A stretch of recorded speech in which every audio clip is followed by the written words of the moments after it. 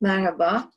Kıraathane İstanbul Edebiyat Evi'nin e, bu yaz sezonunda bir etkinliğe hoş geldiniz. Birlikteyiz. E, ben Nilüfer Kuyaş. E, ve bu akşam bir kitap sohbeti için bir araya geldik. Ve Gamze hak verdi yeni kitabıyla bizimle. Hoş geldiniz Gamze. Çok teşekkür ederim. Çok teşekkürler davetiniz için. Çok mutluluk duydum. Çok sağ olun.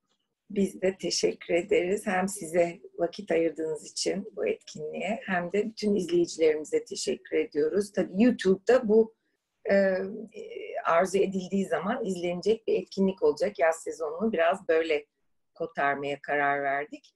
Şimdi Gamze Hakverdi'nin Vulnus, Kırılganlık Üzerine adlı kitabı daha Haziran ayında Metis yayınlarından çıktı. Çok yeni bir kitap. Benim elime de kırılganlığın epey ciddi bir örneğini yaşadığım bir aşamada geçti bu kitap. Çünkü ben Mayıs sonunda bir ameliyat oldum. Kırılganlık üzerine insan ister istemez düşünüyor. Ee, bir de edebiyat meraklısı olduğum için e, böyle hemen Virginia Woolf'un Hasta Olmak Üzerine adlı denemesi geldi aklıma. İnsan hasta olduğu zaman, ameliyat olduğu zaman başka yani genel insanlıktan kopup başka bir alana geçiyor. Doğru. Vaka oluyor çünkü. İnsan Nasıl? artık, insan artık vaka oluyor, oluyor çünkü. Yani evet, hem vaka oluyor, oluyor. başka evet, düşünceler, yaş, duygular yaşıyor. Dolayısıyla tabii kırılganlığın bin bir çeşidi var ama ben böyle bir çeşidini yaşarken bu kitap elime geçtiği için çok hoşuma gitti. Çok keyifle okudum. Ee, kırılganlık zaten artık özellikle pandemiyle birlikte güncel hayatımızın baş yerine oturmuş bir durum. Dünyanın da giderek kırılganlıkla çeşitli boyutlarda daha fazla tanıştığını ve daha fazla bu konuyu düşündüğünü zannediyorum. Ee, bu açıdan kitap hem çok zamanında çıkmış bir kitap hem de bence biraz gecikmiş bir kitap. Gecikmiş derken şunu kastediyorum. Türkiye'de çok tartışılan bir konu değil bu. Evet doğru. Dünyada da çok aslında Dünyada tartışılıyor ama ne kadar doğru tartışılıyor ondan da emin değilim. Onu da konuşacağız. Çünkü dünyada şu anda tartışıldığı şekline yönelik sizin burada enteresan birkaç uyarınız var. Fakat e, Gamze hak verdiği kısaca tanıtmaya çalışayım. Ben de yeni tanıyorum. Dolayısıyla biraz zaten kitapta göreceksiniz. Ankaralı bir araştırmacı, akademisyen. E, Başkent Üniversitesi İletişim Fakültesi mezunu. Hacettepe Üniversitesi'nde iletişim master'ı yüksek lisansı yapmış. 10 yıl bu fakültede araştırma görevlisi olarak çalışmış. Sonra Roma'da La Sapienza Üniversitesi'nde yüksek lisans dersleri alıp aynı zamanda tez araştırması yapıyor. 2016'da doktora eğitimini tamamlıyor Ankara Üniversitesi İletişim Fakültesi'nde. Bu arada sinemaya, görsel sanata e, da e, e, ilgi duyan ve bu, bu alanda da üretim yapan e, bir kişi. Su, Sis ve Toprak Yeni Türk Sineması'nın film imgeleri adıyla da böyle bir çalışması sinema üzerine, Türk sineması üzerine yayınlandı. Dipnot yayınlarından 2013 yılında. E, kısa film ve video enstelasyon çalışmalarınız da var galiba. Evet. E, bu arada Lorenzo de Medici Enstitüsü'nde kültürler arası iletişim dersleri vermişsiniz. Ankara'dan Roma'ya göç edip oraya yerleşmiş bir insansınız. Şu anda Ankara'da tatilde. Evet. Gamze Hanım Ankara'dan katılıyor bize. Tekrar hoş geldiniz. Çok teşekkür ee, ederim. Ee, biz e, kitabı bize biraz anlatmaya başlamadan önce izninizle bir sorum var. Tabii ki. Şimdi kitapta kırılganlığın ve onun karşıtı olan idealliğin ne kadar normatif ve toplumsal boyutları olduğunu söylüyorsunuz bize. Anne olmak çok normatif anlamda beklenen ve normal ve istenen bir şey. Ama yeni anne oldunuz. Anne olmanın dünya batıda bizde dünya kültüründe çok tartışılmayan bir kırılganlık yaratması var mı? Aa, çok o anne olmak evet. Ben de 16 aylık, 17 aylık çocuğum var benim de. Ben de üzerine hala düşünüyorum. Yani hatta şunu da çok düşündüm. Ee, bu kitabı, bu doktora tezimin sonucunda ortaya çıkmış bir kitap. Dolayısıyla 2016'da yaptığım bir çalışmaydı. Ama şimdi belki yeniden yazsam ya da anneliğin kırılganlığını yazsam çok başka bir, yeni bir kitap yazmak gerekir. Yani annelik çünkü insanı e, çok güzellenen bir şey bir kere. Toplum tarafından çok güzellenen, bazen dayatılan, hep iyi yönleri anlatılan bir şey. Ama annelik çok e, büyük bir tünel gibi. Bir tünele giriyorsunuz bazen yani ve o tünelde çoğu zaman e, sadece kendi duyularınıza dayanarak gitmek yani kendi duyularınıza güvenerek ilerlemek zorunda kalıyorsunuz. Öyle çok ışıklandırılmış bir tünel değil bu. Yani başka kadınların e, tek ışık, o tünele giren tek ışık şey olabilir. Başka kadınların deneyimleri, başka anlatılar, başka kadınların e, sizinle paylaşmak isterlerse eğer e, dayanışma e, verdikleri bütün o dayanışma adına yaptıkları çabalar yanında oldukları, olduğunu hissettiğiniz her an tek ışık o olabilir. Yani aslında biraz kolektif bir şey annelik. Yani nesilden nesile geliyor. O hikayelerle e, belki o tünele biraz ışık tutulabilir. Ama onun dışında anneliği ben tabii çok yeni anneyim. Ben bir buçuk senedir anneyim ama hani e, şimdiye kadarki kısmında e, çok bedensel bir tarafı var. Çok hala yani çünkü emzirmek, doğum, emzirmek bütün bunlar e, bedenle ilgili çok yeni bir kapı açıyor size. Bedeninizin hiç bilmediğiniz e, zorlukları yani zorlanma, sizi bilmediğiniz bir mücadele alanına davet ediyor annelik aslında. Daha önce hiç yaşamamışsınız böyle bir mücadeleyi. Biraz gözlerinizle bağlı çıkmak zorundasınız o arenaya. Çünkü daha önce bir deneyiminiz olmadığı için bir arenaya çıkıyorsunuz ve e, evet. e, yok, gücenmek yok, kırılmak yok. E, Dediğiniz gibi. Şikayet evet. etmek yok. Yani o arenada o e, işte tünelde dedim, arena dedim işte bütün böyle bir yani benim aklımda öyle imgelere dikişlendikleri için öyle anlatıyorum ben bunu. Yani benim aklımda bugün e, böyle böyle imgeler var. Anladım. Güzel bir kitap olur hakikaten. Yok, Umarım zaten yazar. ben düşünüyorum postpartum. Mesela şeyin üzerine hiç yazılmıyor. Ee, doğum sonrası üzerine. Doğum sonrası bence çok şiddet dolu dönem. Kesinlikle çok şiddet içeren bir dönem. Yani kadının bedeni e, artık kadına ait hiç değil. Tamamen bir e, şey vaka, e, medikal vaka önce öncelikle. Sonra, Sonra ailesel toplumsal maddeye dönüşüyor. Evet. Sonra bir tür nesne aslında e, bütün e, öznelliğinden sıyrılıyor, e, çok fazla dönüşüyor ve dönüştüğü gibi aslında toplumsal bir bakışın altında yeniden hani bütün bu bounce back dedikleri yeniden eski e, güzel ya da tırnak içinde tabii ki hani o kiloların hızlıca verilmesi gerekiyor. Mesela eğer kilo alındıysa e, bütün o güzelliğinin hani bütün böyle bir dayatmanın da aslında öznesi haline geliyorsunuz. Hem nesneleşiyorsunuz hem e, öznelliğinizi çok fazla kaybediyorsunuz. Böyle dağılan, e, toparlanamayan amorf bir forma giriyor kadın bedeni. Gamze yazdınız kitabı. Hazır bence. Yok bu ben gerçekten yazmak, yazmak istediğim bir şey bu benim çünkü zor. Çok zor bir dönem bence. Öyle kolay olduğunu düşünmüyorum. Umarım ve yazarsınız. Çünkü binlerce uzmanın, doktorun yazdığı bu binlerce kitap aslında da herhalde pek yardımcı olmuyor dediğiniz gibi. O deneyimle baş başa. yardımcı oluyor. Ben kendi bunu bu soruyu şöyle bitirmek istiyorum ton olarak. Kendim sadece bana tek yardım eden şey uzman görüşleri vesairenin dışında başka kadınların hikayeleriydi.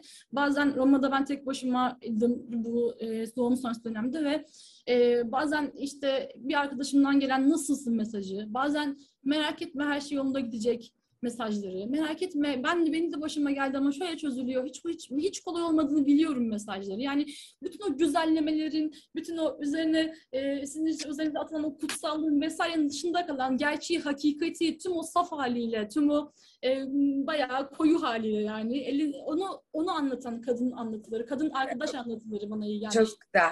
Ben öyle evet. açtım. Yani açtım derken tünel devam ediyor. Kırılganlıkta yalnız olmamak çok büyük bir şans, güzel bir şey. Evet, bebek hoş geldi. Güle güle büyüsün. Teşekkürler, sağ olun. Ee, kısmeti, bahtı açık ve bol olsun. Peki kırılganlık insanız. Hayatımızın bir parçası. Hiç bundan kaçış yok tabii ama kırılganlık üzerine felsefe, sosyal düşünce üreten bir kitabı ben ilk defa okuyorum. Ee, siz de burada biraz ipucu vererek başlamışsınız.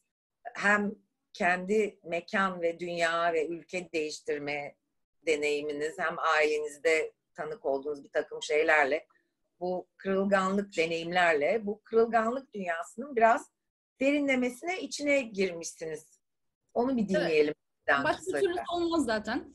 Ee, bu mesele böyle meseleleri tartışmak için bayağı böyle e, tam hani o tavşan Alice'in tavşan denilinden girdiği gibi böyle o rabbit hole'un sonuna kadar gitmek gerekiyor. Öyle kendini dışarıda tutarak e, bir e, bu meseleleri araştırma nesnesi haline dönüştürüp ben daha steril bir yerde duracağım ve sadece sizin bakacağım. Öyle bir, bir öyle bir şekilde yapılabileceğine inanmıyorum ben. Yapan çalışmalar da vardır elbette, yapmaya çalışan diyelim.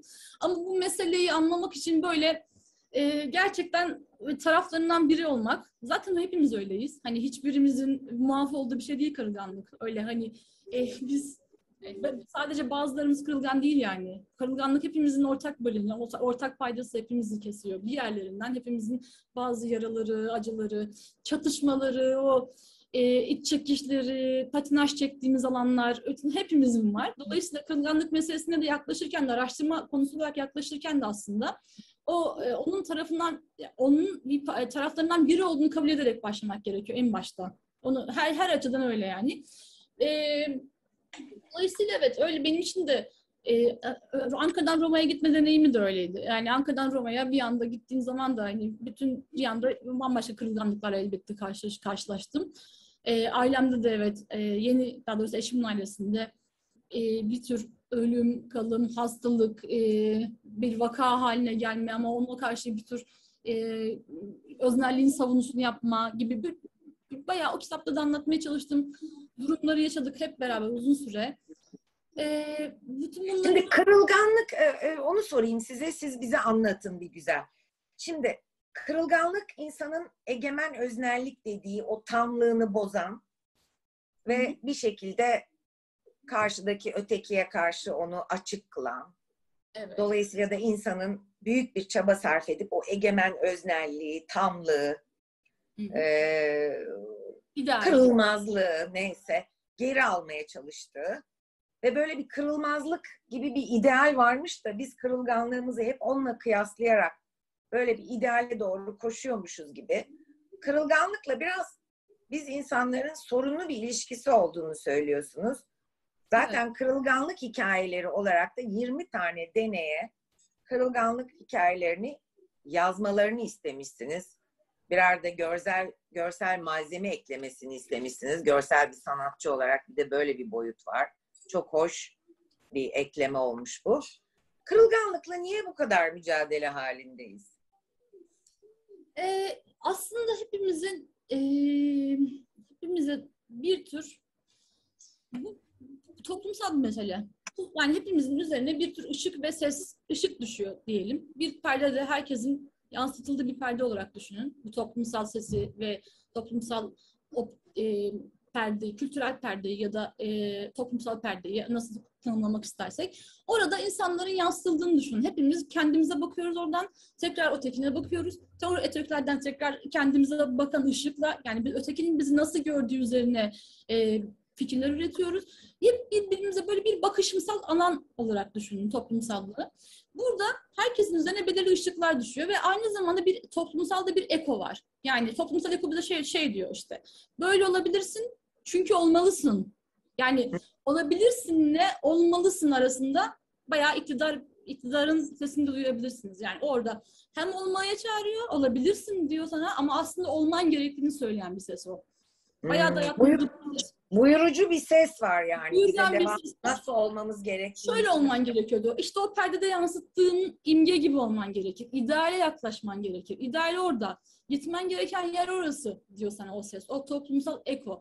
Ve bu toplumsal ekoyu biz aslında içimize çekiyoruz. Yani kendi içimizden geldiğini varsayıyoruz biz bu sesin. Bizim sesimiz olduğunu varsayıyoruz. Ona inanarak konuşuyoruz. Yani dolayısıyla ne oluyor o ses? Böyle olmalıyım. Çünkü olmam gerekiyor. Dolayısıyla bu insanın e, öz sevgisini çok ketleyen bir şey bir yandan. Yani artık böyle olmalıyım çünkü olmam gerekiyor dediğiniz anda olduğunuz şeyler aranızda mesafe var demektir. Çünkü olmaya çalıştığın, gitmeye çalıştığın, sürekli patinaj çekip durduğun bir mesele var. Her neyse kırılganlık nereden kırıldıysa özne.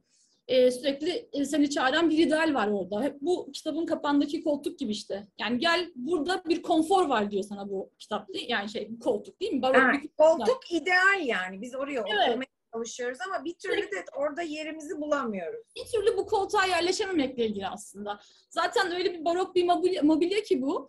Yani kendi öyle çok çok gösterişli bir şekilde kendisini sunuyor. Kapağı siz mi tasarımladınız? Yok kapak e, kardeşimin fotoğrafı. Foto, kardeşim benim fotoğrafçı.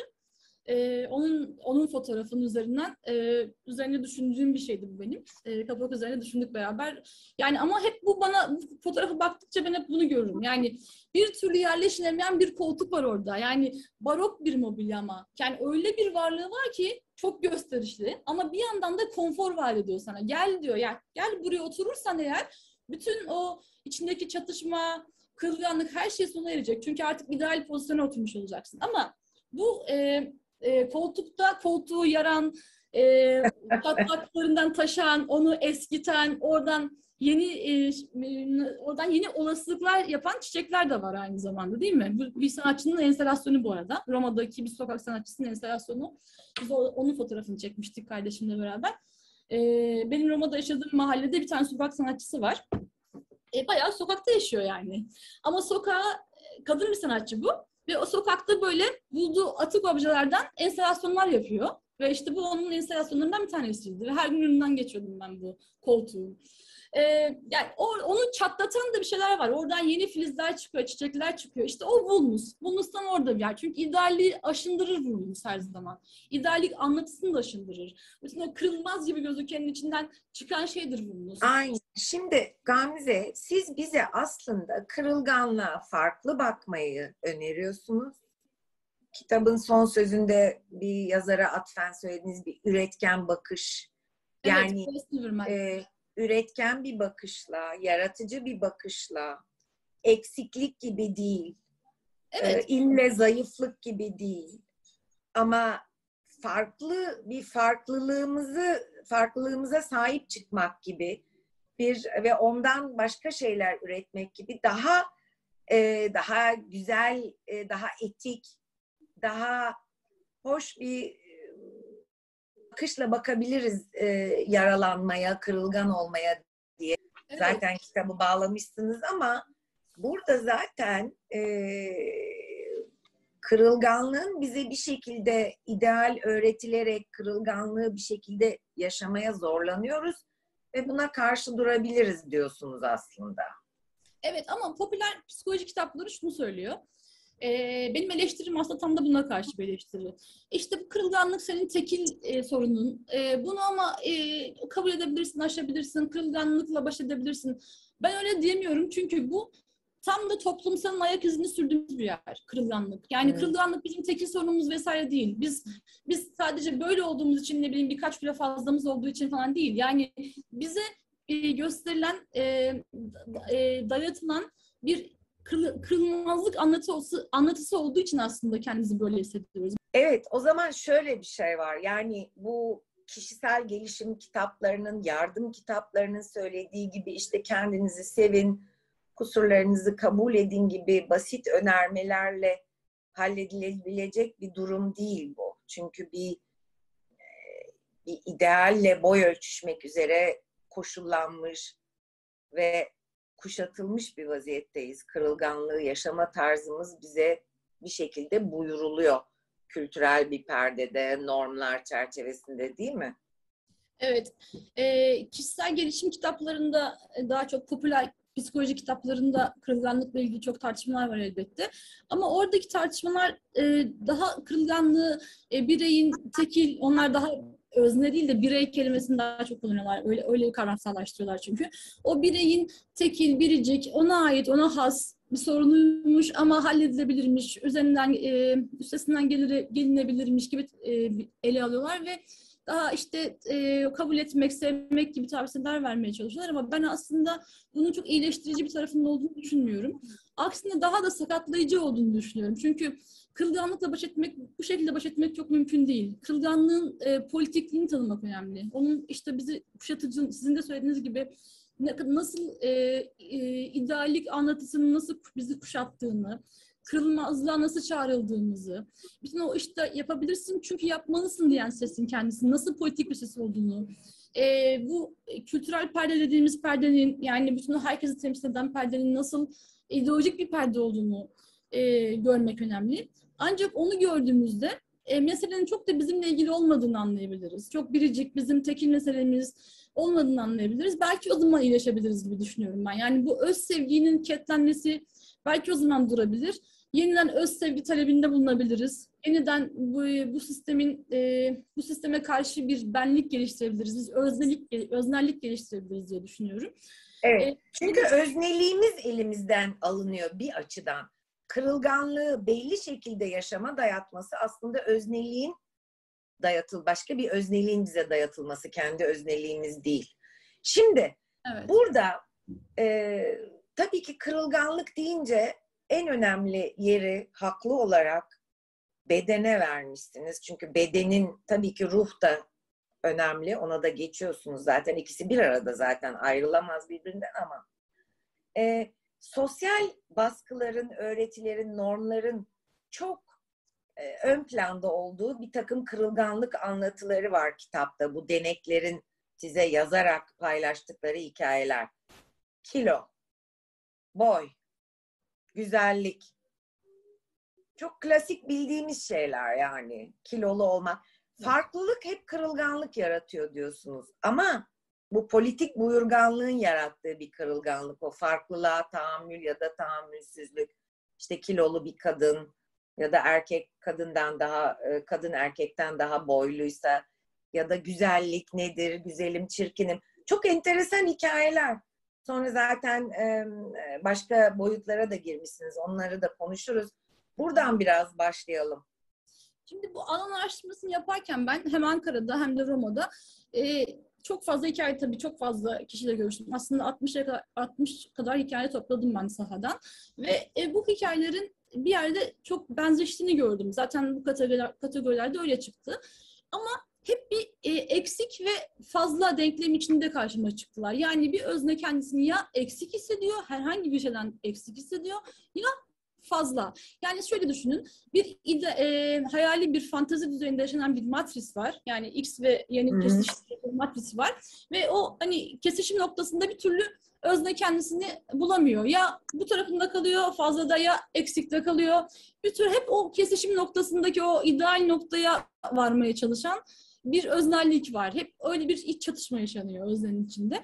E, bu da işte kendisini hangi hangi imgelere düş, dikişliyor, hangi durumlarla e, vuku buluyor diye baktığımda aslında sizin de söylediğiniz gibi çok basit şeyler, çok gündelik şeyler yani bunlar. Çok da öyle e, büyük e, varoluşsal meseleler değil çoğu zaman. Çok gündelik, çok e, e, e, belki aşılabilir gibi gözüken şeylerin etrafında özne patinaj çekip duruyor. Hep orada bir yara oluşturuyor. Ama işte. hepimiz Çok... öyleyiz. Bir yandan önemli evet. yani işte bu kilo almak meselesi hepimiz için bir ben şimdi kilo aldım mesela çok rahatsızım. E, efendim işte bize dayatılan şeyler mesela bu grafik tasarımcı İtalyan kadın erkek arkadaşıyla bir yemeğe gitmiş. Orada böyle çıt kırıldım, yüksek topuklu, işte önlerine gelen yemeği de bitirmeyen, haşlanmış tavuk yiyen model gibi bir takım kadınların önünde bu evet. e, işte bifteğini ısmarlamışlıktan biraz utanan lokantadalar galiba. Çok güzel bir hikaye bu. Görsel olarak da Gereği evet. düşünüldü verdetto diye kendi sırtına evet. bir hüküm yazmış yani kendi derisinde evet. hissetmiş. Teninde hissetmiş ben o hükmü. Ben şişmanım, büftek ısmarlıyorum. Bu çıt kırıldım çok güzel giyinmiş hatunlar haşlama tavuk isteyip onu da yemiyorlar. Evet. Bu çok klasik bir durum yani. Hani bir sinema sahnesi olabilirdi.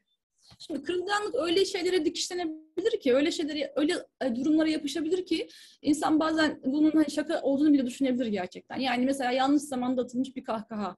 İşte e, insan üzerine alınabilir değil mi? Hani bana ben bana gülüyorlar. Bir gülünçüm ben gibi. Hani böyle bir e, ya da e, yanlış anlaşılmış bir söz yenmemiş bir yemek, e, yapılmamış bir yatı ya, ya, söylenmiş ya da söylenmemiş herhangi bir şey. Bir duruma sabitlenme e, aslında bir imgenin içine çekilme, bir durumun içinde e, kendini böyle tek boyutlu e, kağıttan bebekler olur ya onun gibi hissetme. Nesneleşmenin kendisi. Yani bir bakışın nesnesi olma. Bana bakıyorlar ve bende gördükleri ne varsa artık. Ben de şunu şunu görüyorlar. Öteki benimle ilgili ne düşünüyor? Öteki bende ne görüyor? Ben öteki için neyim? Bu çok Lacancı bir sorudur aslında. Çok psikanalitik bir sorudur. Yani Lacan bundan çok bahseder. Ben öteki için neyim? Sürekli bu sorunun cevabını arıyoruz biz aslında.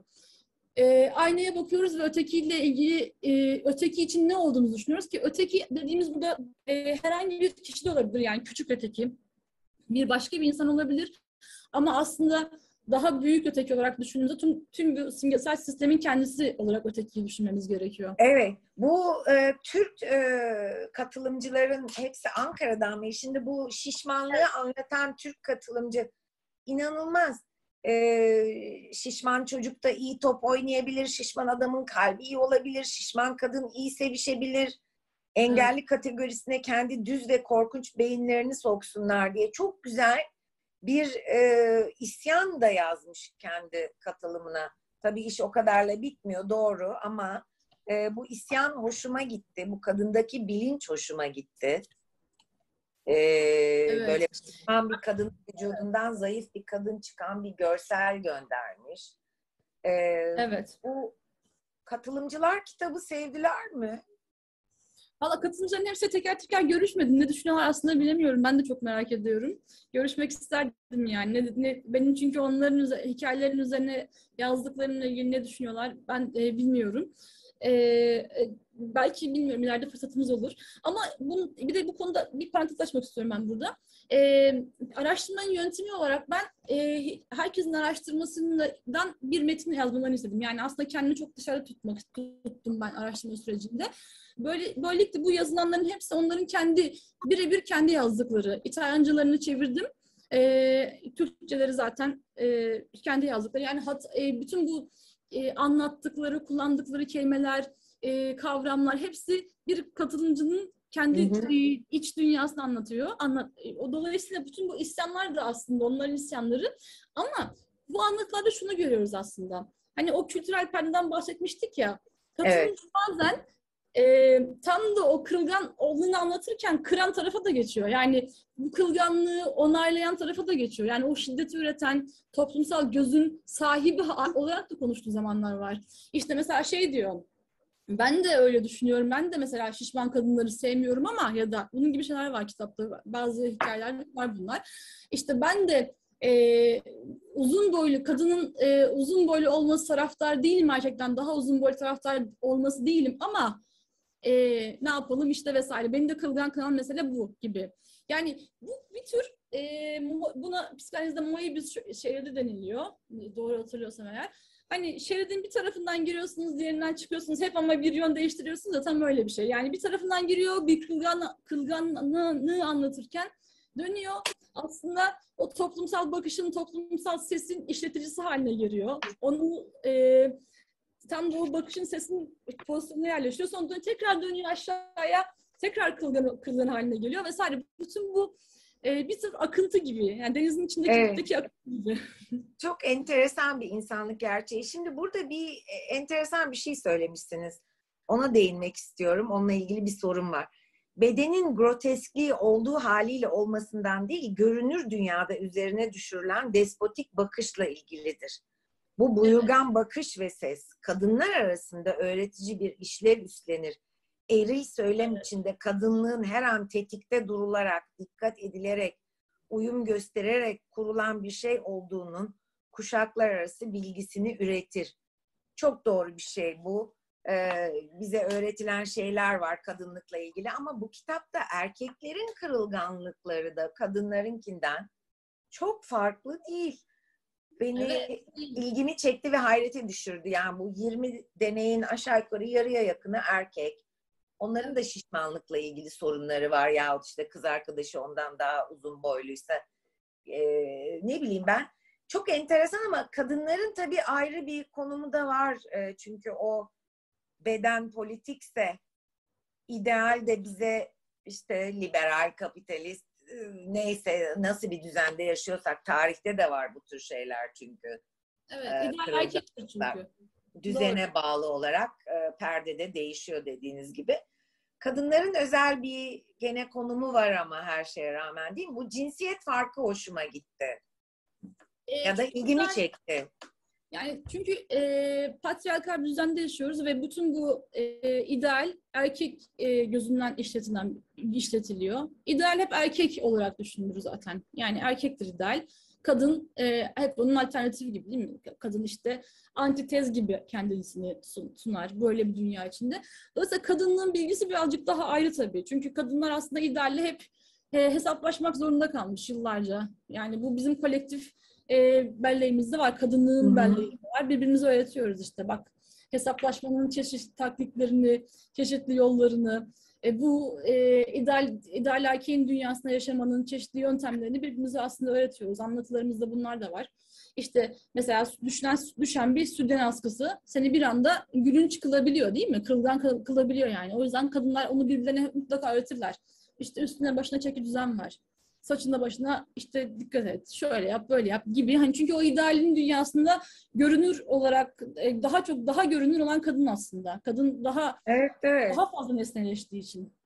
Hele burası gibi şimdi biraz daha muhafazakar ülkelerde yaşıyorsa e, daha da e, ilginç bir hale geliyor. Burada bir de güzellik üzerine çok güzel, e, güzel diyeceğim artık ilginç bir hikaye var.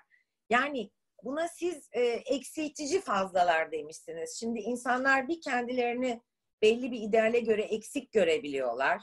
Evet. İşte ideal ince olmak, ben şişmanım, işte şu olmak, ben değilim, öyle değilim. O idealle kendini devamlı bir e, şey halinde. Ama bir de bazı fazlalar var ki onlar da kırılganlık yaratıyor. Mesela evet. bir kadının çok güzel olması da. Evet. Bu da ilginç geldi. Bana şeyi hatırladım. Hani Türk kültüründe çirkin kısmeti olsun derler kadınlar için. Hani güzel olmak pek parlak bir iş değildir. Güzellik Çünkü mutlaka başına bir bela gelir güzel kadının. Ya çok kişi ister onu ya da işte neyse yani. Çirkin kısmeti versin Allah derdi eskiler. Şimdi güzellik de bir sorun ve buradaki bu akademisyen olduğunu anladığımız katılımcı evet bu güzellikle ilgili kırılganlığın gel gitini çok güzel anlatmış. Siz de onu sonra çok güzel analiz ediyorsunuz. Evet. Özne hiçbir zaman olması gerektiği yerde değildir. Evet. Güzel de olsa olması gerektiği yerde değil.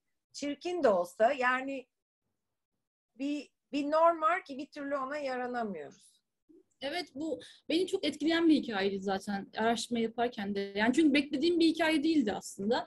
E, diğerlerini az çok beklediğim beklediğim evet. yerden geldi ama bu hikaye Türkiye'den bir katılımcı bu üstelik. Evet, evet evet. İkisi de iki tane var sanırım. O ikisi de Türkiye'den. Bir tanesi de tıp öğrencisiydi. Ee, yani orada da güzelliğin e, güzelliğin nasıl e, yaraya dönüştüğünü anlatan bir katılımcıydı o. Yani güzelliği bir tür güzelliği bir tür yara gibi, bir açık yara gibi hatta. Ve sürekli sakınması gereken, sürekli iyileştirmesi gereken, hatta gözden e, uzaklaştırmak, nasıl yarayı gözden uzaklaştırmaya çalışıyorsak, üzerine kapatmaya çalışıyorsak, pansuman yapıyorsak vesaire. O da sürekli o yarasını maskelemeye çalışıyordu. Aslında o kadar güzel değilim falan diyor, diyormuş mesela. O anlatıda var. Yok aslında ben e, yani bir tür böyle güzelliğini bir şey gibi özür dileyerek yaşayan bir anlatıcıydı. E, evet. Ve yani tabii bunun böyle olduğunu mesela hayal, hayal etmiyoruz çok. Sen çünkü güzelsin, ideale yakınsın. İdeale yakınsan sorun yoktur gibi düşünüyoruz ama aslında güzellik de bazen hele ki akademisyenlik gibi bir işte bayağı büyük bir kırılganlık yaratabilir. Çünkü güzel kadın ne anlar akademisyenlikten yani değil mi? Güzel kadınsa zaten e, bütün bilginin dışındadır, sadece saf bedenden ibaret bir şeydir gibi öyle bir e, bakış ve ses düşüyor muhtemelen ona. Hani öyle bir e, e, bozulmuş bir harmoni yani. O nasıl evet evet çok enteresan tezatlar var. Çünkü bir tane kadın e, sarışın ve vamp olduğu için e, evet. işte hukukçu ya da ciddi mesleğe uygun görülmüyor CV'sinde birdenbire evet, sinema evet, yıldızı gibi sarışın bir kadın görünce herkes bir duralıyor. Çünkü sarışınlar aptaldır ya da işte boştur, şudur, budur, cinsel objedir evet. gibi ön yargılar var. Bir tanesi de yeterince güzel olmadığı için seçilmiyor. Çünkü iş seyahatine gidecek. Orada herhalde iş seyahatinde, iş görüşmesinde kadınların e, kırıtmasını ya da kadınların kadınlığını mı kullanmasını istiyorlar? Yani normlar da çelişkili. Duruma göre hep bir eksik, hep bir e, fazla var. Evet evet kadın kadın özellikle kadın hiçbir zaman olması gereken yerde değil zaten. Yani ya hep bir hep, işte bir denklem her yerde aslında karşımıza çıkıyor. Ya aşırı fazla ya aşırı eksik denklemi. Mutlaka e, her öznenin e, yaşantısında bir yerlerde karşımıza çıkabiliyor. E, bütün bu kırılganlık anlatılarının aslında temel boyutu bu. Bir tür fay hattı gibi. Ben buna fay hatları de, dedim zaten kitapta da öyle tanımladım. Çok bir, güzel, böyle, doğru yani bir kesen e, e, hani fay hattı niye fay hattı? Çünkü hani e, insanın yeryüzünü yani kesen bir şeydir ya bu. Yer, bir anda bütün sağlamlık duygunu, güvenlik duygunu, e, yer, yeryüzüyle bağlantını bir anda e, yok edeverir bir fay hattı geçtiği zaman yani ortadan ikiye bölen, yeryüzünü ortadan ikiye bölen bir şeydir. Kırılganlık da aslında öyle. Bir anda bütün e, öznel sağlamlığını, e, bütünlüğünü, bütünlük hissini, kendilik hissini, öznelliğin tam, tam tamlığını, tamlık hissini eğer varsa öyle bir şey tabii, e, var olduğunu varsayıyoruz. E, bunu tam ortasından kesiyor ve özneyi parçalıyor. Yani bir yandan özne e, kırılganlık her nereden geçiyorsa, bu hayatta her nereden geçiyorsa oradan bölünü veriyor. Evet. Bununla kurmaya çalışıyor. Bu iki e, fay hattının iki tarafı arasında bir yerde köprü kurmaya çalışıp duruyor. Ya eksiksin ya fazla. Evet. Bir yerde oradan oraya. Bu bedenle ilişkili kısmı kapatmadan önce bir küçük not bu çok şeker bu. 26 yaşında, 25 yaşında genç İtalyan adam. Yönetim mühendisi. Ee, ha, evet. Gençken, e, yeni yetmeyken ya da ergenken bıyığının yeterli olmaması onu çok yaralamış. Evet yani olacak Yalnız iş bıyığın olmaması. Bıyığının bıyık, olmaması. Evet. Yani bıyık e, tabii bunu boş yani e, bıyığının ben de bunu dinlerken insanın bıyığının olmaması yaral, yaralayabilir mi yani? Çünkü olmayan bir şeyin için ağıt yakmak gibi bir şey bu. Evet. Hiç, Görsel olarak da çıplak bir ağaç fotoğrafı paylaşmış. Evet. Yani o bıyıksızlık bir çıplaklık gibi. Evet. Ya, bir kırılganlık. Evet. Müthiş bir onu yaralamış e, çünkü o e, o dönemdeki gençler arasında e, bıyıklı, onun tüyleri az çıkıyormuş diğerlerine göre ve diğerleri çok daha güçlü tüylere sahipmiş, bıyık e, bıyıklara sahipmiş vesaire ve bu o bıyıksızlıkla bir tür yaralanmış ve kendisini hala bana öyle anlatmıştı. Kendini hala bu e, bazen bu çıplak ağaçlar gibi hissetmiş bazı durumlarda. Çünkü bu kırılganlık bir kere yaşanıp biten bir şey değildir. Dönüp dönüp oraya geri dönersiniz. Çocuklukta yaşasanız 10 sene önce falan hani bir kırılgan anlı sabitlendiğinizi düşünüyorsanız eğer kırılganlıkta bir sabitleme varsa eğer dönüp dönüp oradaki bir yara açılı verir bazen. Dolayısıyla siz 30 yaşında değil bir birey de olabilirsiniz artık ama hep o çocukluğun travma, ya kırılganlığı geri gelebilir bir yerden. Tam böyle e, evet. e, sırlanın geri dönüşü gibi, bir kabus gibi. O fay hatları kaybolmuyor. Şimdi evet. bedenden sosyalliğe geçince tabii bir de statü. Evet. E, ve toplumsal aidiyet ya da kendini yabancı hissetmek. Şimdi mesela evet. İtalyan hikayelerinde hep e, kasabadan taşraya yani şehirden taşraya da taşradan şehire taşınmışlık ve kendini hep yabancı hissetme gibi böyle simetrik hikayeler var. Bazı asimetriler var. Evet. Bu kırılganlığın fay hatlarının statü ve sosyal e, mevki e, olayını da çok güzel ele almışsınız. Evet, kırılganlık e, ya mesela bu hikayelerde de çünkü mesela e, bir tanesinde e, küçük o kasaba dediği yer aslında Roma'nın sadece 30 dakika dışında bir yer. Yani Roma'nın kasabası ama hani böyle çok gerçek çok gerçek bir taşraya benzeyen bir yer değil yani öyle. Bayağı hmm.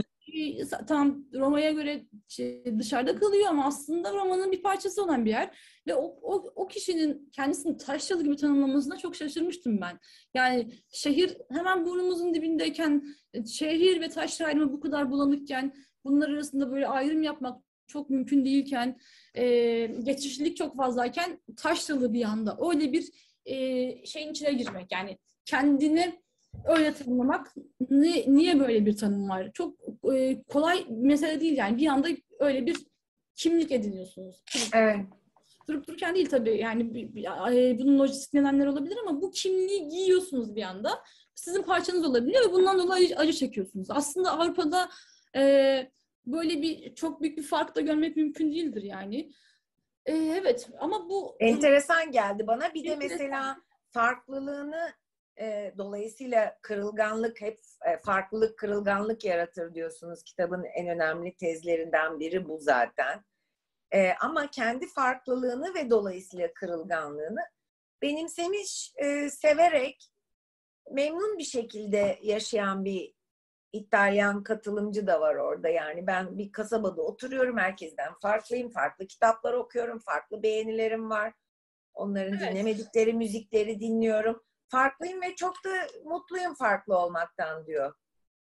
E, orada yani, ama bir yanda e, şeye de yani bu e, biraz önce dediğim gibi toplumsal her e, tam da tahakkümü işleten bir tarafa da geçen geçiyor aynı anda. Yani ben hem hem kendine bakarken evet burada oturuyorum ama ben onlardan ben onlardan değilim. Ben onlar gibi değilim yani. Beni onlarla çok da karıştırmayın diyen de bir ses var aslında. Çünkü yine ideal var Çalaran. Yani şehirlilik ideali. İşte e, bir tür cazibe merkezi olarak bir şehir var. Onu e, oranın parçası olmak istiyor. Ama diyor ki ben zaten oranın parçasıyım. Yani beni çok da burada oturduğum için, kasabada oturduğum için çok da onlardan onlarla bir tutmamak, tutma. Çünkü benim dinlediğim müzikler, yaptığım işler vesaire vesaire onlardan farkını ortaya koyuyor. Yani hem kırıl, kırılganlığını tanıyan ama e, onu e, çok da şey olarak kabul ederek tanıyan bir ses yok orada. Onunla da çarpışan, e, onu maskeleyen de bir ses var. Yani toplumsal tahakkümün sesi de var bir yandan. Şehirli olmaya çalışan, cazibe merkezine gitmeye çalışan, başka yere ait olmaya çalışan, aslında ait olduğunu da iddia eden. E, yani böyle bu hikayelerin e, şeyleri dipteki akıntıları çok ilginç zaten. Yani öyle e, duygularla, öyle düşüncelerle birleşiyorlar ki böyle öyle ittifaklar kuruyorlar ki şaşırıp kalıyorsunuz. Yani hem bir yerden bu şeridin içinde işte bir, bir oraya gidiyor, bir oraya gidiyor. Tekrar ve tekrar. Hem öyle değilim ama aslında öyleyim. Biliyorum ama yine de. Olmak istiyorum ama değilim falan gibi. Böyle bütün bu bu sesin kendisi e, çok ilginç. Yani anlatmak da çok kolay değil bir yandan. Analiz etmek de öyle. Ay, ben... Yok, kitap kitap çok güzel anlatıyor bunu. Yani insan hatta biraz daha fazla okumak istiyor. Ben hatta kafamda bir takım şeyler ekledim. Ee, şey e, bu hani beden faslında hmm, şeye fazla girmemişsiniz. Halbuki sizi ailenizden bir üyenin yaşadığı büyük bir hastalık kırılganlığı hmm. ciddi yani bayağı ciddi bir hastalık kırılganlığı e, deneyimledikten sonra kendi ailenizde biraz daha bu konulara yönelmişsiniz gibi anlıyorum girişte yazdığınız birkaç şeyden.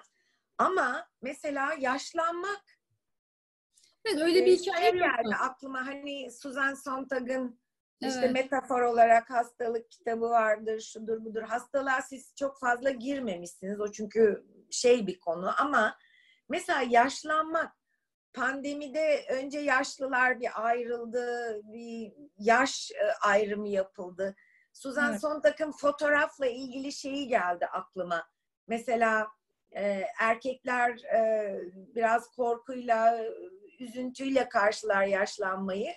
Ama kadınlar yaşlanmayı daha da acıyla yaşarlar. Çünkü bir de utanç vardır burada işte güzelliğini kaybetmek mi ne kadın için sadece bir kader değil aynı zamanda bir kırılganlıktır yaşlanmak diyor mesela Suzan Sondar. İşte yaşlılık bu kategorilerden biri olabilir. Ama evet. bir şey soracağım size. Asıl kitabın temel felsefesini ve argümanını toparlamak için. Biz artık zannediyorum ki şu anda dünyada hem hepimizin, herkesin hem de düz işinde yaşadığımız düzenin kırılgan olduğunun bilincinde insanlarız. Öyle bir çağda yaşıyoruz aslında. Kırılganlık çağında yaşıyoruz. Dolayısıyla bize bu dayatmaları yapan sembolik düzen de büyük bir değişiklikten geçiyor. Evet. Çünkü artık e, eşcinselmiş, şişmanmış, siyahmış, dışlanmış ki bu tür dışlanmışlıklarla karıştırmayın kırılganlığı diyorsunuz kitabın başında doğru.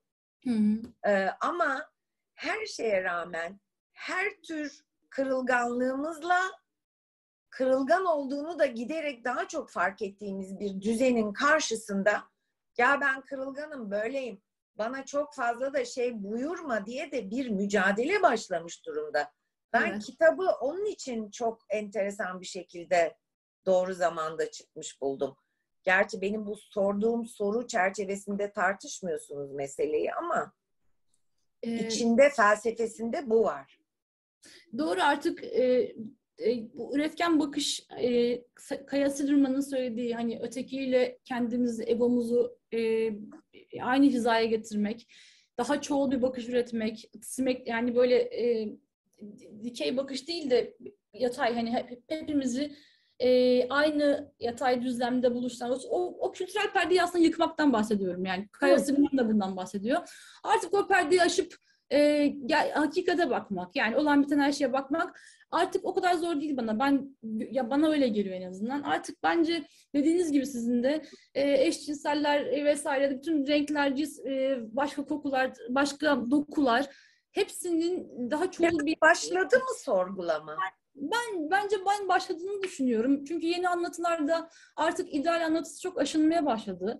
Yani ideal artık eskisi gibi her yerden çıkıp karşımıza çıkamıyor. Çok tetikte bir eleştirel bir göz de var. Yeni yapılan anlatılarda ben görüyorum bunu. Yani daha böyle daha tetikte, daha e, çoğul bakan, daha üretken bakışa yer veren, öyle ideallik anlatısını çok güzellemeyen, kırılmazlık anlatısına yer, onu e, onu baş tacı etmeyen, e, kırılganlığı açık eden, o Vulnus'u tanıyan öyle anlatılar görüyorum ben. Yani sinemada da var, dizilerde de var, Netflix'te bile açtığımızda var. Daha çoğul bir bakış var. Ben umutluyum o yüzden geleceğe dair daha böyle ideal, ideal anlatıların artık çok aşındığını düşün, aşınacağını, daha da aşınacağını. Ee, yeni bir görme rejimiyle biz artık yavaş yavaş ona doğru gittiğimize inanıyorum. İnşallah evet. Enteresan çünkü daha eşite, daha heterojene, çoğula doğru bir gidiş olabileceğinden bahsediyorsunuz kitapta. Evet, yani umudum o yönde. Ee, tabii bu belki bugünden yarın olmaz ama artık sizin de dediğiniz gibi pandemi bizi çok başka kırılganlıklarla yüzleştirdi. Ee, dolayısıyla diğerleri daha önemsiz bile kaldılar aslında. Bütün o görsel kırılganlıklar ve onları önemsizleştiren de bir süreçten geçtik hep beraber. Ee, ölümlülüğümüzü hatırladık mesela yani daha ölümsüz gibi hani o cilt krem şeyleri hani var ya kitapta bir tane deri anlatıları e, kırışıklıklar onları yok etmeye çalışırken bir anda aslında bedenin ölümlü olduğunu tekrar bize yüzümüze çarpan Evet. Şimdi insanoğlu çok karmaşık ve çelişkili bir yaratık. Çünkü ben mesela bu ameliyatıma doğru giden süreçte bir takım kontrollerden geçmek üzere ve ay ben pandemide nasıl ameliyat olacağım diye korku içinde doktorlarla konuşurken e, doktor bana dönüp bir takım kadınların deli gibi şakır şakır estetik ameliyat olmaya devam ettiklerini söyledi. Ay mümkündür.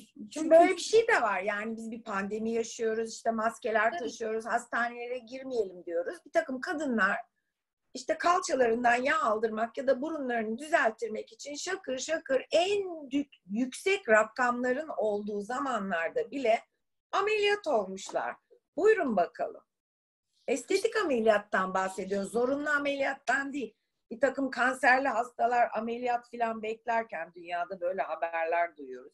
Yani kırılganlığı ya da tersini o idealin üzerimizdeki baskısı hala bitmemiş. Eğer Covid'e rağmen bir takım kadınlar gidip estetik ameliyat oluyorlarsa hastanelerde o sizin bahsettiğiniz ideal daha ortadan yok olmamış demektir değil mi? bunun e, politik olduğunu, e, çok kolektif e, bakış ve ses sistemiyle üretildiğini tekrar tekrar söylemek lazım. Yani çünkü ancak onun üzerimizdeki o tahakkümü, o kocaman kırılganlık anlatısının yani insana ameliyat olmaya iten hani yağ aldırmaya vesaire gibi önemsiz ameliyatlardan bahsediyorum. Yani e, zorunlulardan değil ama e, çünkü bir tür, bir tür o boyun eğmenin gerekli olmadığını artık anlamak için yeniden ve yeniden kılganlığın politikliğini konuşmak gerekiyor. Kişiselliğin değil de politikliğini. Yani yeniden toplumsal ayak izlerini takip etmek gerekiyor. Ancak o zaman iyileştirici olabilir. Çünkü diğer türlü kırılganlık bazı özneler için böyle kocaman bir e, ne derler zebani gibi e, böyle bir tür kabus gibi peşini bırakmayan bir şey gibi kovalayabilir ve o nedenle o, o özne Covid'e de rağmen başka bir hastalık çıksa ona da rağmen hastaneye koşup kırılganlığı düzeltmek için çare arayabilir. Yani başkası için absürttür bu durum belki ama işte onun tam da o kırılganlığın baskısı altında göz, ezildiğini gösterir o. O özne için çok ezici olduğunu gösterir. Dolayısıyla koşup onun çaresini bulmaya çalışabilir. Bir panik duygusuyla hareket edebilir. O nedenle işte belki ve yeniden ve yeniden belki hiç tük, e, sabrımızı tüketmeden e, e, hiç vazgeçmeden bunun politik bir e, mesele olduğunu, çok evet. da kişisel olmadığını, e, özellikle kadınları ezdiğini açıkçası bu sizin de söylediğiniz gibi yani özellikle kadınları ezen bir, onları e, onların e, hayatında bir zebani gibi duran, kabus gibi duran, aşılamayan bazı zamanlarda özneyi patinaj çektiren bir şey olduğunu tekrar tekrar söylemek, göstermek gerekiyor. Her yere yazmak gerekiyor yani. Ben yazacak olsam bir Doğru. Evet. yazardım. O derin, evet oradaki o güzel politik mesaj çok ilginç hakikaten.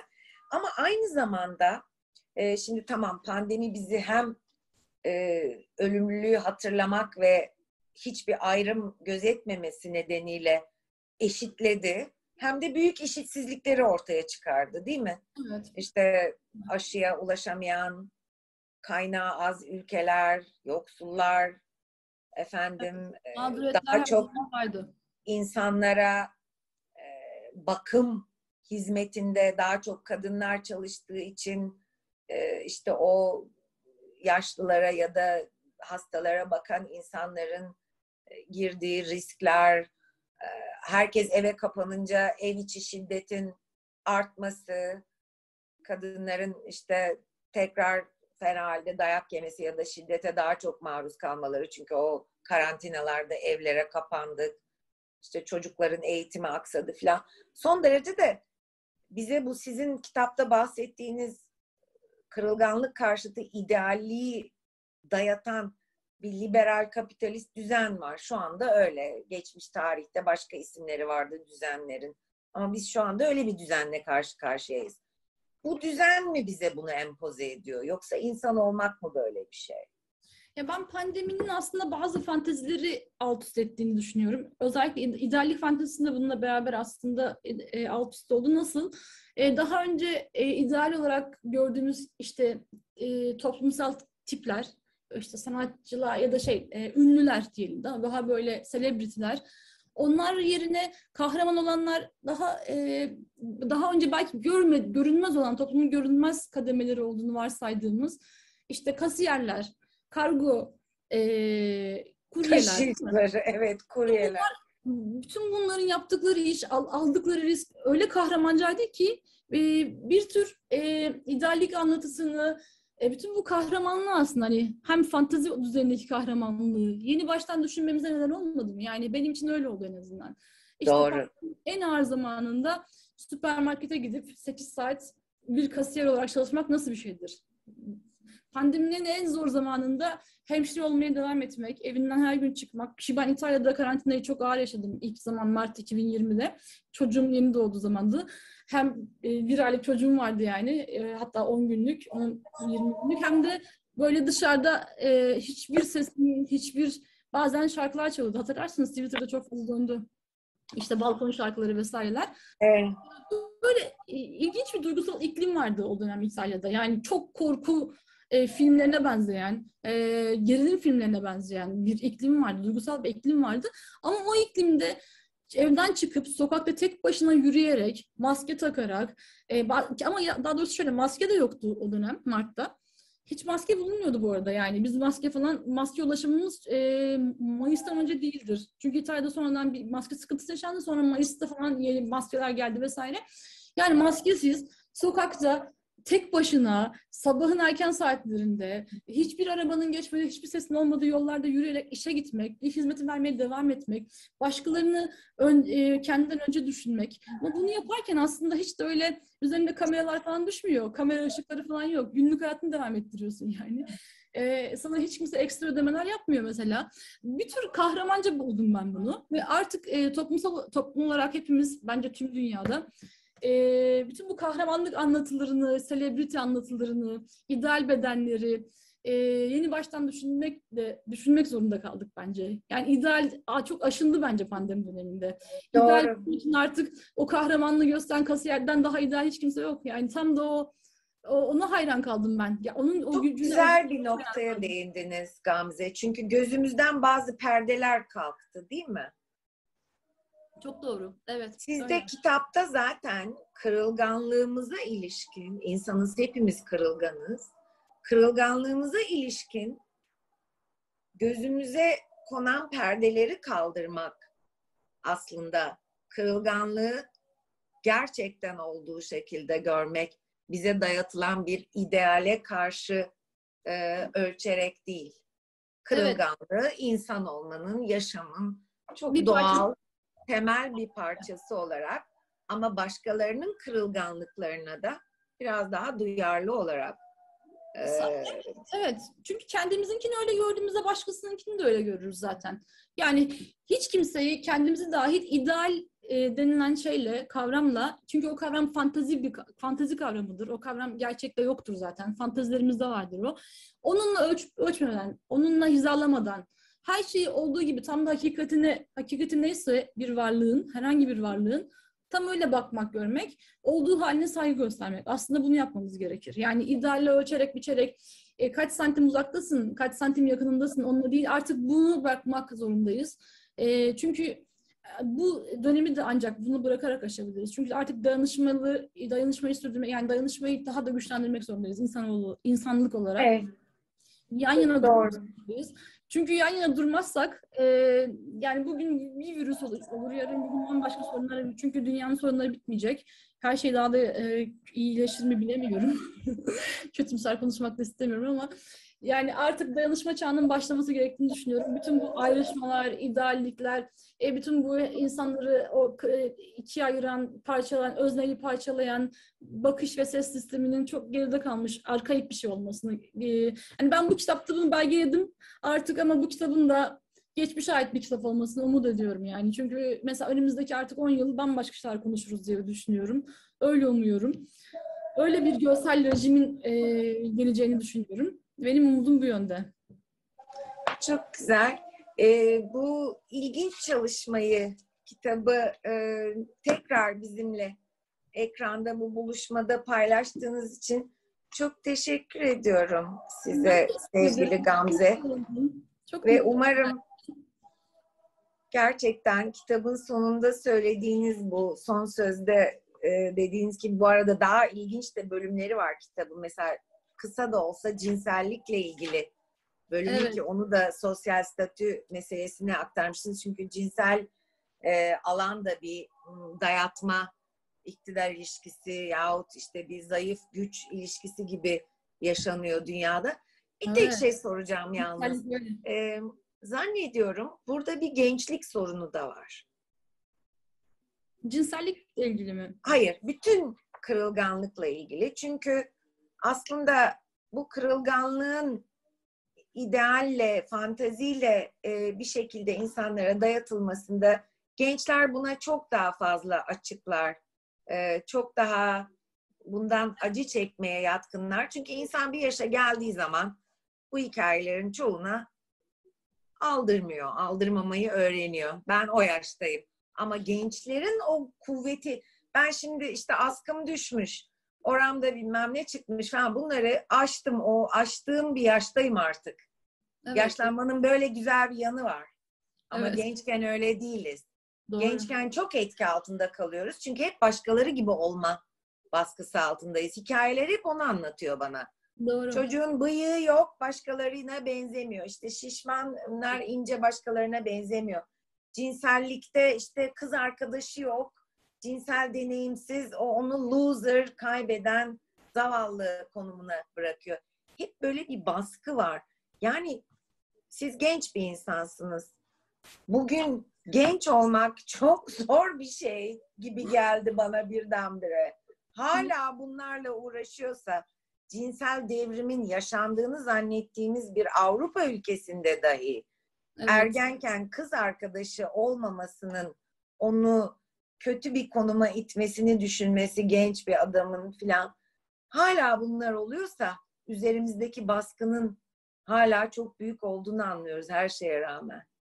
Evet, e, baskının çeşit çeşit biçimleri var. E, yaşa, evet gerçekten ben de şaşırmıştım. Yani e, ben de çoğu hikaye çok öyle beklediğim yerden gelmedi. Bazen hani erkek katılımcıların bana anlattıkları çünkü ben de bir kadın bir araştırmacı olarak bana bu anlatma tür iş dök iş dökme gibi yani hani beni buldukları anda anlattıkları o açılma e, evet. ortaya serme biçimleri de beni çok etkilemişti gerçekten. E, yani e, beni de şaşırttı gerçekten. Yani ben de böyle e, bu kırılganlığı bazı yerlerde çok e, elinde bu hikaye var. Peki ben bununla ne yapacağım? Şimdi dediğim çok zaman oldu. Yani gerçekten çünkü şaşırtıcı çok taraf oluyor her şeyin böyle. Bir yandan ona çok saygılı davranmak durumundasınız araştırmacı olarak ama bir yandan da e, sizin dediğiniz gibi gerçekten hani böyle bir şey insan nasıl bu kadar parçalayabilir? Nasıl bu kadar bölebilir? Bunu niye evet. Ama Bunu yapıyor işte. Yapıyor Gençler işte. de dayanışmayı ve direnmeyi keşfediyorlar. Ama kitapta benim ilgimi çeken bunu illa bir eleştiri gibi söylemiyorum. Yaş limiti 30. Onun üzerinde insan pek yok. Ve katılımcı bulmamla ilgili tabii ki. Ben hani kendi ulaşabildiğim katılımcılar, kabul etmeye e, kabul eden, e, dahil olmayı kabul eden katılımcılarla görüştüm. E, onun dışında çok bulamadım. Çünkü kolay da değil tabii. Belirli bir ulaşabilirliğiniz var. Ee, evet öyle Mes- bir eksikliği var.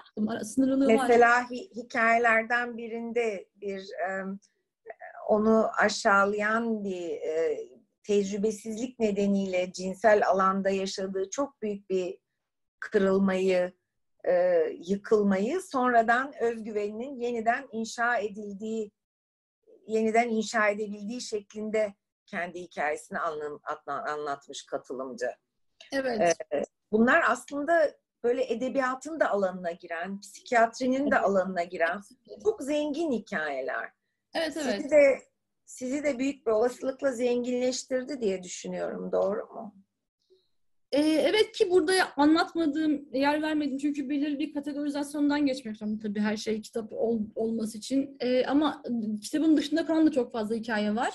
Ee, onları dinledikçe dinledikçe ben de hani e, ya, yani çok zenginleş. Evet ben de dünyaya bakışım çok değişti gerçekten.